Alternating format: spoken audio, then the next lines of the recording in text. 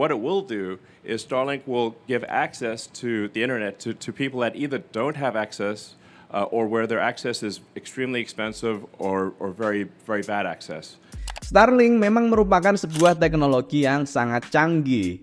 Ini adalah internet satelit yang kecepatannya luar biasa cepat dan latensinya juga sangat rendah. 250 250 megabit ini kayaknya lebih kenceng dari paket saya di rumah deh. Namun demikian jangan dilupakan bahwa Starlink ini juga memiliki keterbatasan. Dan ada potensi bahaya yang mungkin tidak disadari banyak orang. Kita sudah membahas dasar-dasar teknologi yang digunakan oleh Starlink di video sebelumnya. Dan di video itu ada banyak komentar-komentar menarik yang masuk seperti ini. Starlink itu sendiri dapat akses internetnya dari mana ya? Bagusan mana antara fiber optik dan Starlink? Dengan jumlah satelit yang sebanyak itu, kok mereka nggak takut tabrakan antara satelit ya?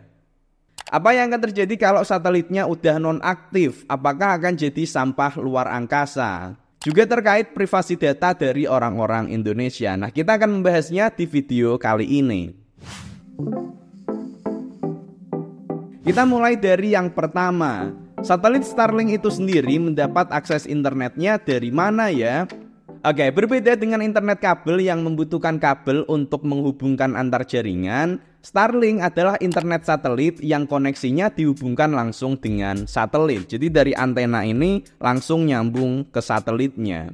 Kemudian dari satelit ini dia akan nyambung ke ground station atau stasiun pemancar yang ada di bumi. Dan ground station inilah yang kemudian menyambungkannya dengan jaringan internet internasional. Jadi sistem internetnya sama seperti internet pada umumnya. Bedanya di sini dia menggunakan koneksi satelit yang satelit ini berada di ketinggian 550 km, bukan menggunakan kabel seperti internet pada umumnya. Nah, penggunaan satelit memiliki keunggulan yaitu untuk daerah-daerah yang sulit dijangkau oleh infrastruktur internet kabel ataupun tower BTS, dia bisa tetap menjangkaunya. Di video pembahasan sebelumnya, kemarin kita baru fokus pada koneksi antara antena ini dengan satelitnya.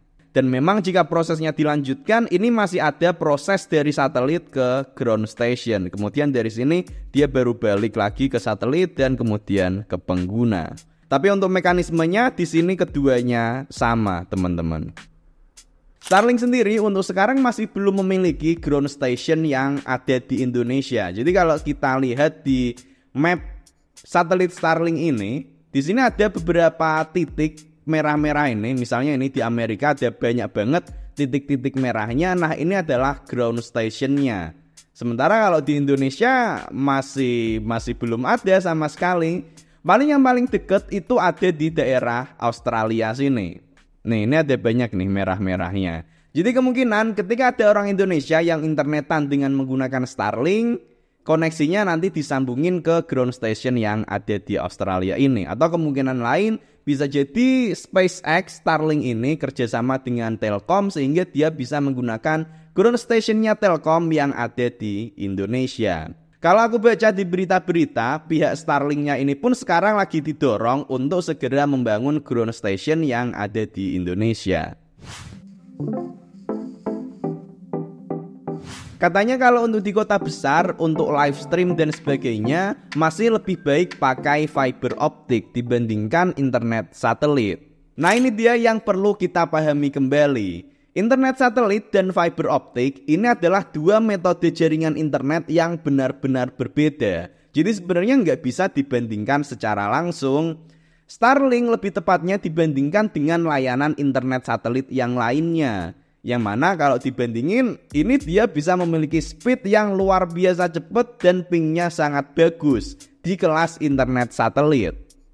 Tapi kalau dibandingin sama fiber optik, ya meskipun masih bisa bersaing, tapi tentu masih kalah dalam hal kombinasi antara kecepatan, latensi, dan harganya. Fiber optik dari sisi bandwidth jelas lebih besar. Nilai pingnya lebih cepat dan lebih stabil nggak terpengaruh cuaca dan kalau di kota-kota besar kecenderungannya harganya pasti lebih murah daripada internet satelit.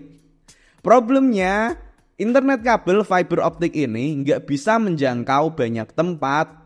Misal di gunung nih, nggak semua provider mau narik kabelnya ke atas sana.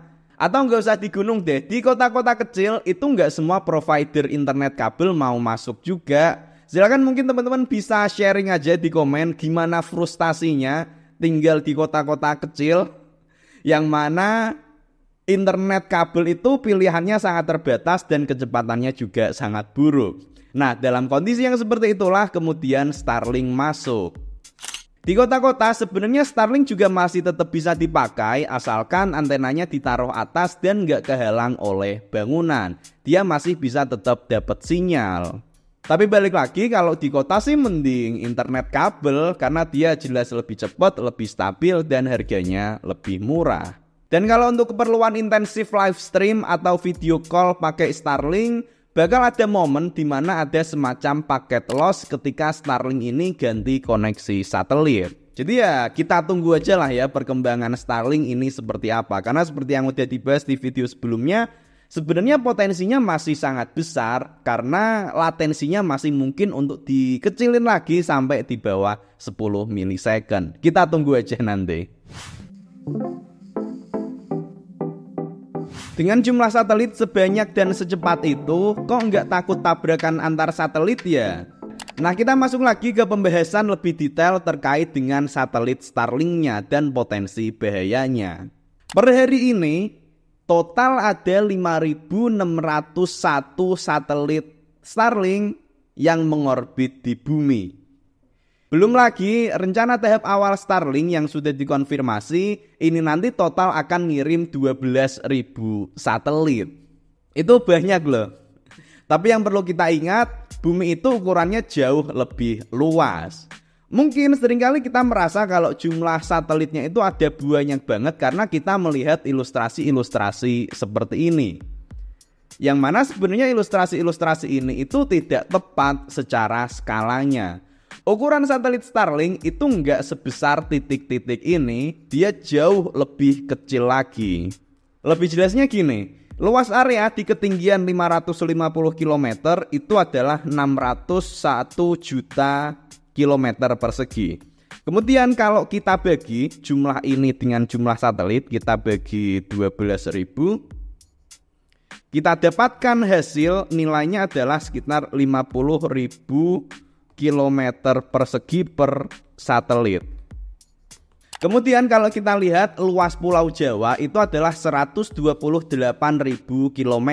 Jadi kalau dikira-kira Pulau Jawa ini nanti akan terisi sebanyak 2,5 satelit. Ya, tiga satelit lah ya biar lebih gampang. Jadi ibaratnya untuk Jawa Barat, Jawa Tengah, dan Jawa Timur masing-masing ada satu satelit. Dan ukuran satelitnya sendiri itu cuma seukuran mobil keluarga. Jadi jaraknya jauh banget sebenarnya untuk terjadi tabrakan. Dan satelitnya pun di sini kan punya orbit masing-masing, bukan yang bergerak secara acak. Potensi tabrakan antar satelit tetap ada dan memang ini potensi bahaya dari sistem konstelasi Starlink. Makanya pihak SpaceX pun aktif melakukan monitoring lokasi satelit dan ngasih data orbit satelit ke berbagai pihak. Di mana kalau nanti ada satelit yang lepas dari jalur dan mau nabrak, mereka bisa menyesuaikan posisi satelitnya. Karena satelit Starlink ini dilengkapi dengan sistem pendorong ion yang bisa digunakan untuk mengubah arah satelit. Termasuk misal NASA mau nerbangin roket. Nah, mereka bisa ngecek apakah ini nanti roketnya akan papasan sama satelit Starlink ataukah tidak. Meskipun tetap saja potensi tabrakan, potensi kekacauan itu masih tetap ada. Bukti nyatanya ini flashback lagi di tahun 2019 pas waktu itu Badan Antariksa Eropa atau ESA mereka harus melakukan manuver pada salah satu satelitnya karena untuk menghindari potensi tabrakan dengan salah satu satelit Starlink yaitu Starlink 44 ini. Padahal ini pas masa-masa awal Starlink loh belum sebanyak sekarang, juga belum sebanyak nanti di masa depan. Ngeri sih ini.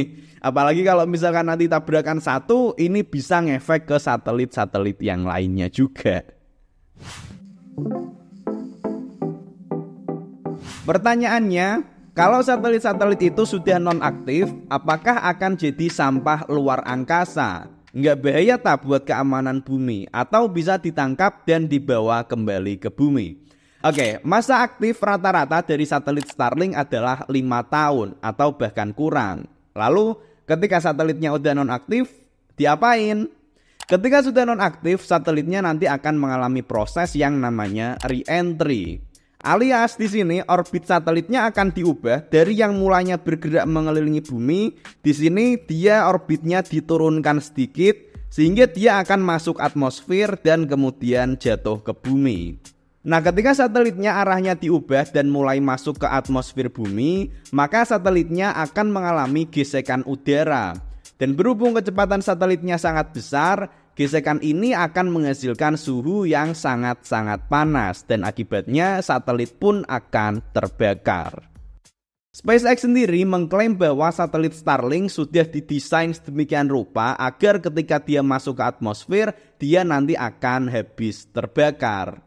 Tapi beberapa pihak masih meragukan karena di satelitnya mereka mungkin menggunakan sebagian kecil bahan yang berpotensi nggak bisa terbakar ketika re-entry ini. Perlu ada privasi yang kuat setelah Starlink masuk ke Indonesia, sehingga data privasi tidak disalahgunakan oleh industri asing. Yap, ini adalah salah satu potensi bahaya dari Starlink juga, yang memang ini perlu diawasin sih. Ketika kita pakai layanan internet, pastikan datanya lewat ya, dan bisa jadi datanya ini disalahgunakan, apalagi Starlink atau SpaceX ini kan perusahaan dari luar negeri. Mungkin nanti untuk teman-teman yang lebih paham di bidang cyber security bisa nambahin ya kira-kira seperti apa. Tapi sepengetahuanku sebenarnya untuk infrastruktur web yang sekarang itu udah cukup bagus kok. Ketika kita pakai website yang udah pakai protokol HTTPS, ketika kita mengirim data, maka datanya itu akan dienkripsi. Sehingga nggak bisa dibaca oleh orang lain kecuali orang atau sistem yang dituju. Harusnya untuk privasi data internetnya aman sih ini. Dan sebenarnya kalau misalkan kita ngomongin terkait dengan privasi data, ya ini agak-agak gimana sih sebenarnya. Ya ini memang penting ya teman-teman. Tapi bahkan ketika data ini dikelola oleh dalam negeri, perusahaan dalam negeri atau oleh pemerintah, ini pun nggak menjamin keamanan datanya. Karena ya seperti kita tahu lah beberapa waktu kemarin beberapa kali, banyak kali rame terkait dengan kebocoran data. Yang mana itu adalah data-data yang dikelola oleh perusahaan atau e, pemerintah. Ditambah lagi setiap hari kita buka YouTube, Instagram, WhatsApp dan lain-lain yang semuanya justru mereka adalah perusahaan luar negeri dan mereka punya akses datanya secara langsung bahkan.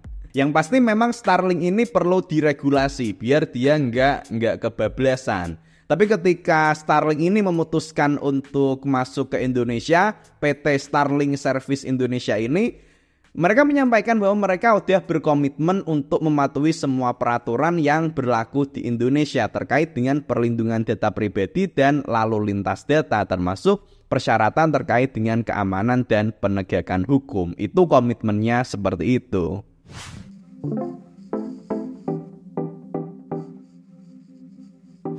Nah, terlepas dari potensi bahaya Starlink yang berkaitan dengan privasi data, tabrakan satelit, dan sampah antariksa, sebenarnya salah satu problem besar dari Starlink itu adalah berkaitan dengan penelitian astronomi. Secara kasat mata, satelit Starlink memang nggak kelihatan. Secara orbit luar angkasa masih bisa diperhitungkan. Tapi kalau terkait dengan astronomi, ini yang menjadi masalah. Penelitian astronomi membutuhkan pemandangan langit yang bersih. Dan kalau melihat dengan teleskop, keberadaan Starlink yang sebanyak itu akan kelihatan dan berpotensi mengganggu. Bukti nyatanya adalah ketika deretan satelit SpaceX yang baru saja diluncurkan yang terlihat jelas di langit berjejer-jejer seperti ini. Ya di satu sisi ini memang indah ya, tapi di sisi lain ini juga sangat mengganggu penelitian astronomi. Belum lagi gelombang yang dipancarkan oleh satelit Starlink bisa jadi ini juga akan mengganggu dan mengalami interferensi sehingga mengganggu pengamatan dari teleskop astronomi. Sebagai respon terhadap isu ini, pihak SpaceX sendiri melakukan kesepakatan dengan National Science Foundation di mana mereka membatasi untuk frekuensi-frekuensi tertentu yang mana ini digunakan oleh National Radio Astronomy Observatory dan juga observatorium lain yang ada di dunia. Meskipun ya sebenarnya ini masih tetap ada potensi untuk mengganggu proses penelitian astronomi, teman-teman. Jadi demikian, gimana menurut kalian teman-teman? Gimana apakah kalian udah siap membayangkan ada puluhan ribu satelit yang ada di langit yang berpotensi tabrakan dan kemudian nyambung ke satelit-satelit yang lainnya? Oke, demikian dulu untuk video kali ini. Sampai jumpa di video selanjutnya. Dadah, terima kasih.